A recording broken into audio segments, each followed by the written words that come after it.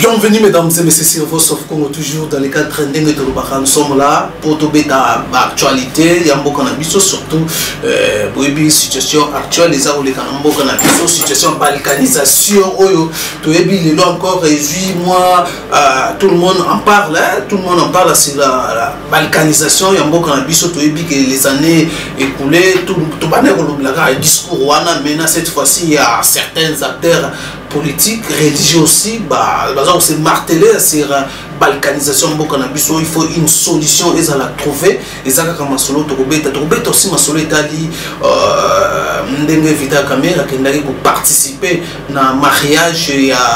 ya mwana ya james cabarere donc voilà eza kaka masolo avec euh, amemaki eh, asalaki toye bango cadeau ya 30 vache oyo polémique autour de ça et tolinga tosolola yango mwa moke tokobeta osi makambo etali eh, baproposition ya fridole ya mbongo oyo aza koloba ke non il faut concertation nationale mpo na koleka komeka kotrouve solution ekotrouve solution na situation ya est kuna sinon euh, est ezala balkanise tokobeta aussi mwa moke concernant toujours euh, comment euh, cash fc cash pardon mal à l'aise na kati kuna idps bazosenga démission ya mwana mboka vital kamere oyo aza direct cap ya fei tisekedi vraiment alongwa na poste aza na wana parce que ya mais gestion ya badétournement eza na kati kuna na kati ya présidence kuna donc rien ne va na présidence il faut vraiment la tête ya vital kamere elongwa no na présidence pour que euh, les choses e revenir à l'autre et voilà quelques questions tozalaki nango tokosolola na mwana mboka papi okata oyo aza coordonnateur national ya recrutement ya inc oyo lelo tozwi libaku ya kokutana na ye en tout cas sans plus tarder mbote mwana mboka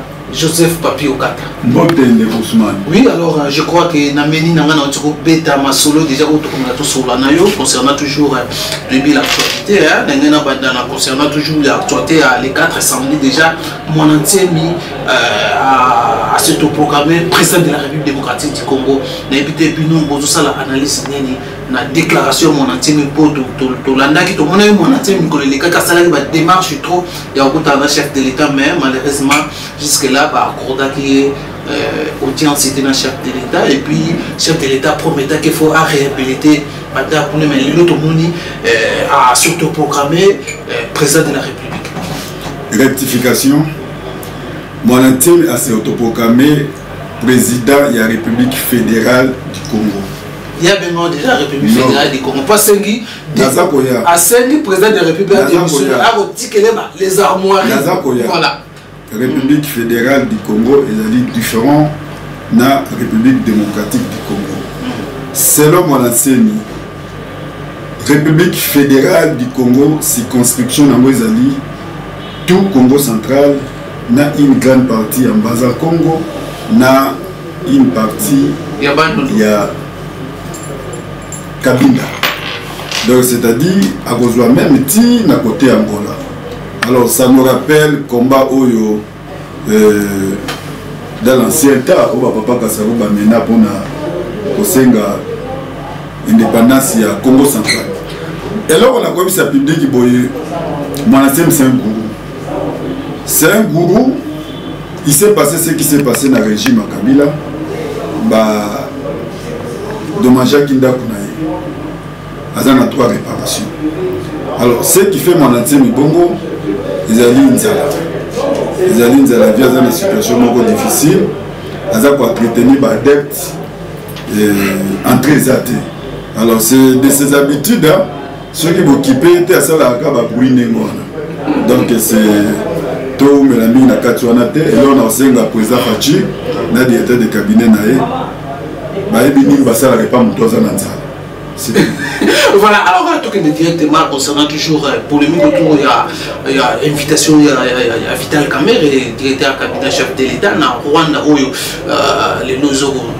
Tole ya euh, lelo balobi ke non vida kamere apesi communication politique autrement euh, nayebi te tolandi discours na ye na manifestation wana ndenge alobi que non fait fait ce que dit le président de la république a regretté de nazo pe invitation te bapi ba mususu babi akoseli mokonzi ya mboka makambo euh, comment nde bazo critiquer wana babi comment James Kabare oyo andeya ba certaines familles acréa guerre lelo soki toza na situation kuna na mboka na biso ye nde moto azalaka na base na yango acréa ba rébellion awa vita kamere ye moko mpe akritika ye na ba na ba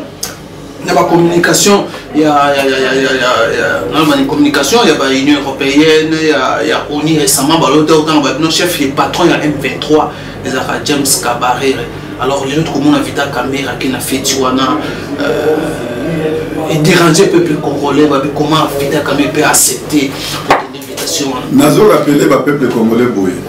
depuis tozwi pouvoir président faci asali deux fois voyage na rwanda mama denise asali une fois voyage na rwanda vice-président ya assemblée nationale Jean-Marc Kabund wa Kabund asali voyage na Rwanda pour ne citer que cela. Alors, bao bazokanisa ke bazali na monopole ya critique bamikosa parce qu'on se connaît. Bato nyonso oyo natangi bakendaki promenade de santé te. Vital Kamerhe est libre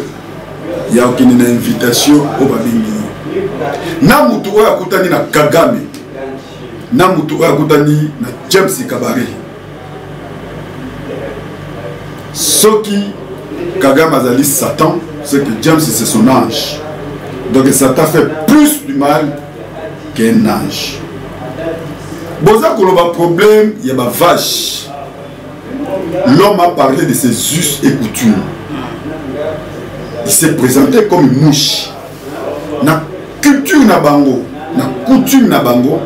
mariage esalemaka autour ya bavache alobi bien ke nakopesa yo vache ndenge esengi na coutume au retour soki vache wana boti bopesi ngai soit veau soit lait eza coutume na ye soki vache nde eza koimpressionne bino kobanda mai ndombe tika sangulu kambeka aza na 4 ferme na esemble ke lavandisa alaka baelection po azali soka moyen te aza koya aza na 4 ferme ngai naza koba ensemble te dernier ferme na ye eza na 1100 tête alors le problème n'est pas à ce niveau le problème c'est vital kamere oyo ata kosukosu ne ya pamba bao bazokatisa ke bazali na monopole ya critique to bakritike yango mais on se connaît alors bo botiki azala libre na bamouvement na ye nyonso je crois que c'est ça donc euh, voilà yo oyebi batika ye moko vache vraimen eza normal akopesa nde vache eza problème te mais oyo ezalaki problème ezalaki présence na ye na feti ya mwana ya un rebelle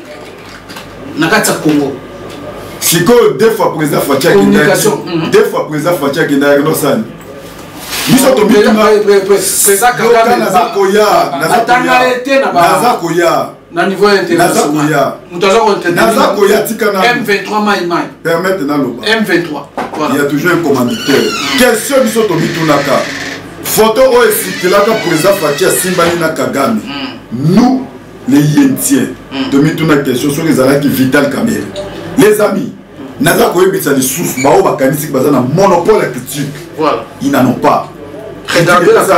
critique epesami mpo na biso nyonso vital kamere mpe ale répondre na bainvitation nyonso esepelisi ye qui n'a rien avoir na makambo bozokanisa wana ase concerne le rwanda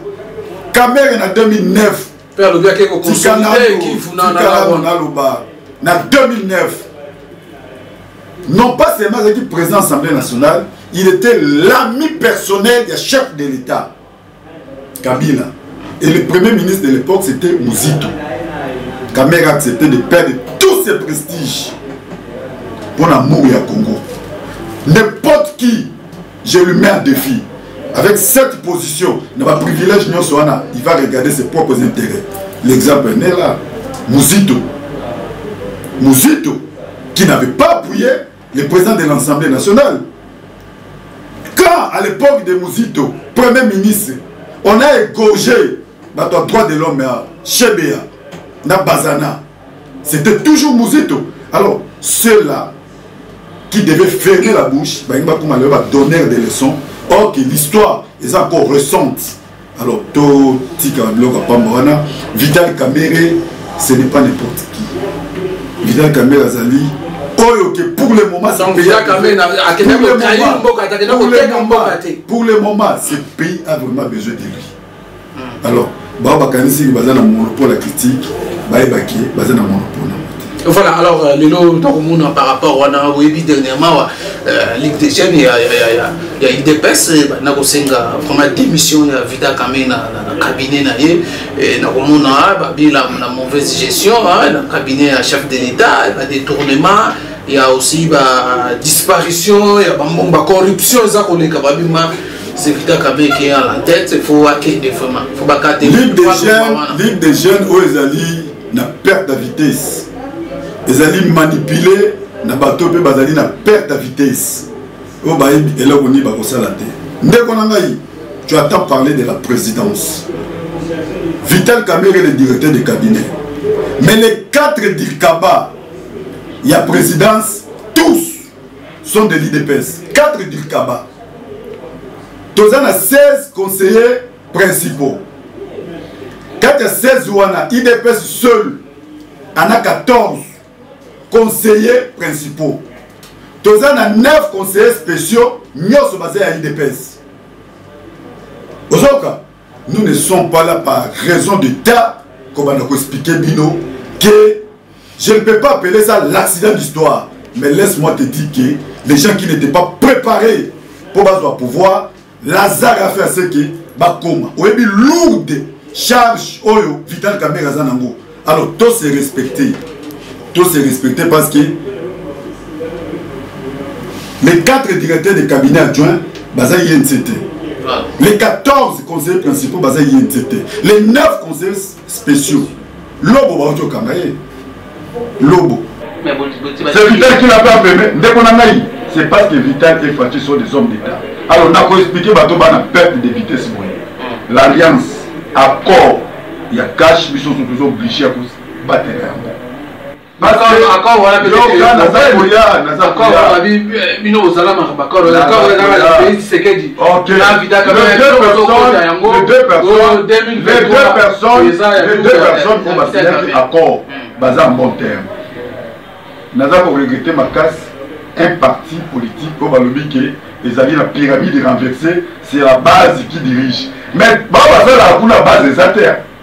il y a les copains et les copines nde baza kuna donc ntango akogere borenverse pyramide ezongi normal ntango akokosa bato na barumeur borenverse pyramide renverse ndeko na ngai accord wana eza ya deux personnes accord wana nde motu etie biso lelo na pouvoir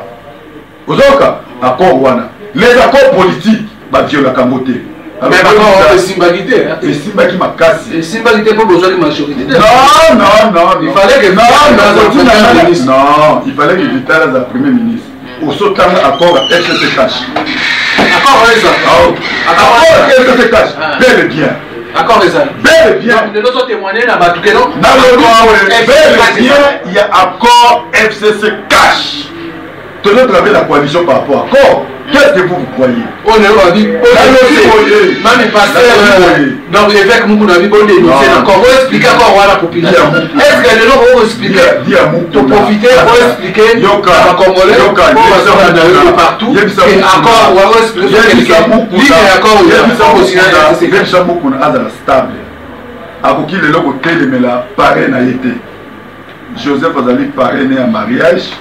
oyo auti kobalisa ye après avoir divorcé avec sa femme na ba grief oyo ye moko ayebi hmm. alors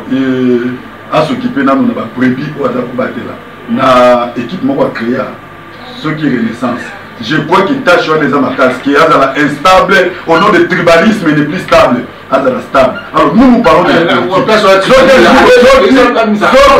soki alingi kosala politike azwa mpe parti politique alors ndeko na ngai aza kopale sur accord ya cash entre deux personnes vital kambe candidat la présidence faci candidat la présidence bango so mibale baobango na genève toyokaki déclaration moko na moko président faci alobaka devant prince monde que le changement c'est Fayou président Vita abi te yo nde président viens bakei andimi kosede ozoyoka moto ya ndenge wana nous nous devons du respect nous nous devons du respect ndeko na ngai voilà alors euh, vraiment tokomi na suka nayebi te euh, joseph papio kata dernièrement na bato balandi biso na oyo nyonso tolobi euh, preuve surtout ote ko évoquer le comme accord euh, FCC cash nga linga auto songa nanu wana FCC cash accord obi confirmant que accord en ezali est-ce que ko sala biso moi ko donner biso quelques lignes ya FCC cash hmm. to ko sala yango po ça fait débat ça fait débat alors po balobi que non faut pas dévoiler ba secret wana lobi boye mukolo ya FCC cash to ko sala yango c'est les accords ndeko na ngai nos leaders ont signé il faut toi assumer encore Kabila na méchanceté na ye. Bakor eza ya Kabila na méchanceté na ye mhm. avait signé les accords en son temps na vieux Kizenga. Tango vieux Kizenga akomaki affaibli, a violaki accord te. Les accords sont des accords. Nous demandons aux agitateurs. Même les bamisés, nous demandons, nous demandons hein? aux agitateurs. Hum. Oyoke, à 19 ans,